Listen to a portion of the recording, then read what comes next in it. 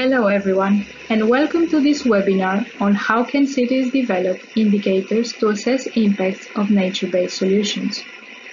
I am Dr. Adina Dumitru. I am a senior researcher and director of the Sustainability Specialization Campus at the University of A Coruña, located in the region of Galicia in Spain. At the Sustainability Specialization Campus, we are passionate about helping cities to assess progress towards sustainable development goals.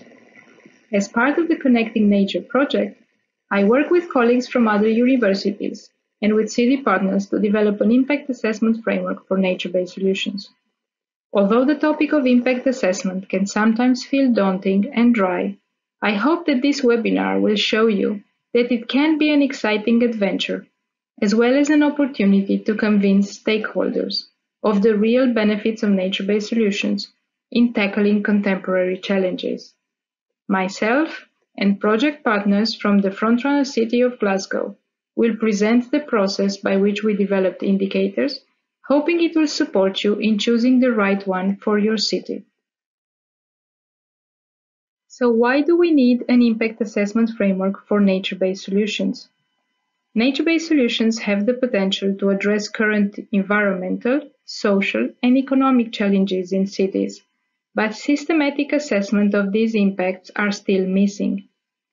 Building a solid evidence base on the outcomes of nature-based solutions, or NBS, will help cities to design cost-effective, multifunctional nature-based interventions, to harness investment and public support for them, to upscale and outscale them, and to transform the way we think and plan our cities by making them a mainstream aspect of policy. Three principles guided our efforts. Indicators had to be based on state-of-the-art scientific evidence. They had to rely on lessons learned from previous experiences with NBS across Europe and be adaptable to each city's objectives and local context. To put these principles into practice, we designed an iterative co-production process that involved extensive reviews of scientific literature, a systematic process of indicator development, and rounds of consultations with the frontrunner cities of Glasgow in Scotland, Genk in Belgium, and Poznan in Poland. Together with colleagues at the University of East London, Humboldt University in Berlin, and Trinity College Dublin, we focused on four categories of impacts, broadly defined as climate change adaptation and resilience, health and well-being, social cohesion, and nature-based economic development and entrepreneurship. In taking stock of the available scientific evidence, the following principles emerged as essential in the development of robust impact assessment plans. These plans should evaluate benefits across multiple impact categories. Existing evaluations often focus on a primary objective such as flood mitigation, or air temperature reduction, and miss the opportunity to capture their additional impacts on health, community, and economic prosperity. Plans would also benefit from systematically considering the intermediary mechanisms through which nature-based solutions influence certain outcomes, especially those related to health and social cohesion. Furthermore, the long-term performance of nature-based solutions and their cumulative effects is not yet well understood. Both short and long-term evaluations should be implemented to support more sophisticated and effective interventions. There is insufficient knowledge on how nature-based solutions affect different social groups. Evaluation plans should thus include the systematic mapping of actual use and experience with NBS of different social groups, which is a highly relevant dimension for social justice. Finally, the process of NBS design and implementation is likely to have an impact on how the intervention is used and experienced, in a word, on its performance. But an understanding of this relationship is missing, so plans should include process indicators and differentiate them from outcome indicators. Our review led to a comprehensive list of over 100 indicators for the four categories of impact mentioned. However, it is impractical to think that cities could effectively implement such a large set due to limitations in financial and human resources. Through a systematic process, we then worked with the cities to select a smaller core set of indicators that were both relevant and implementable across the different nature-based solutions of our frontrunner cities. To make sure our final selection was appropriate for cities' objectives, we developed and tested, together with the City of Glasgow, a structured tool to support the process of thinking about assessment. The IAPT, standing for Impact Assessment Planning Tool, guides cities through a reflexive process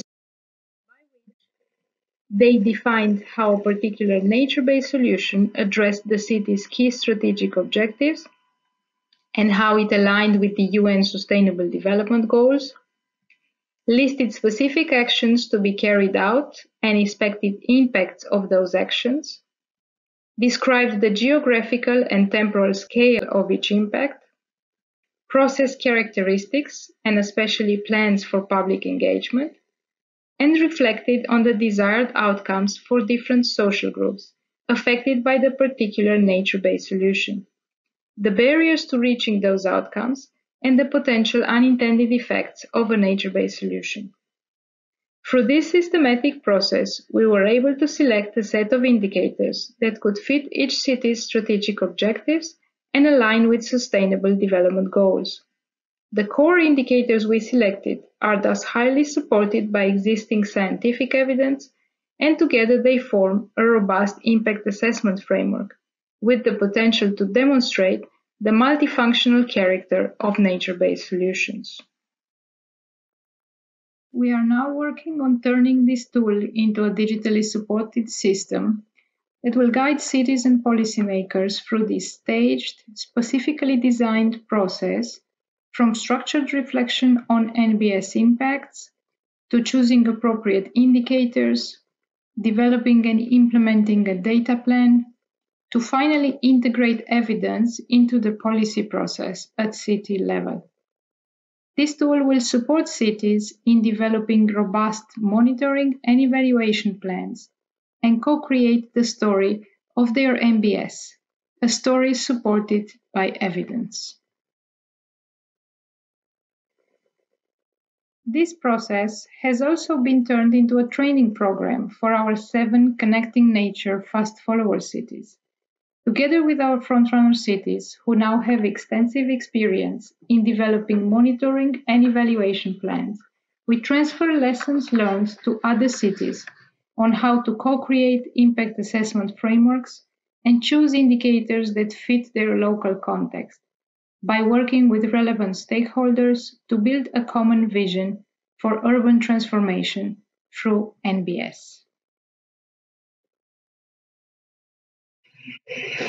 Turning our attention to the selected indicators now, we first included two indicators to map how different social groups use and experience NBS. The type, frequency, and duration of NBS use, and the perceived quality of NBS. For the environmental impacts, we cover the diversity of impact categories, such as, for example, the distribution and connectivity of public green and blue space in the city, the cultural and recreational values of blue-green spaces, reductions in air temperature and flood risks, biodiversity conservation, and water quality improvement. For health and well-being, we chose indicators that reflect important antecedents of many illnesses, such as prevalence, incidence, and morbidity of chronic stress or levels of physical activity, but also health outcomes such as prevalence, incidence, morbidity, and mortality of cardiovascular disease or life expectancy, and mental health indicators such as general well-being and happiness, rates of depression and anxiety, and levels of aggressiveness and violence.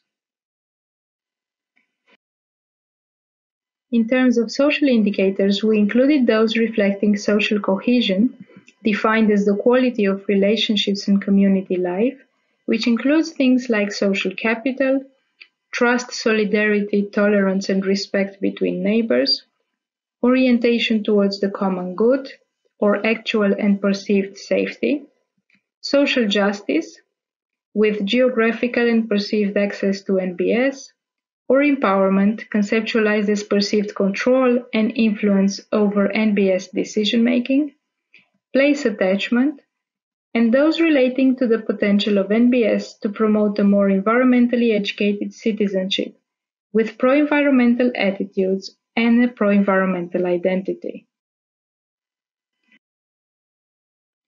And finally, for economic indicators, we included new businesses attracted or started and net additional jobs, increase in tourism, both local and international, affordable and clean energy, estimated financial cost of flooding, and additional non-market funding secured for NBS.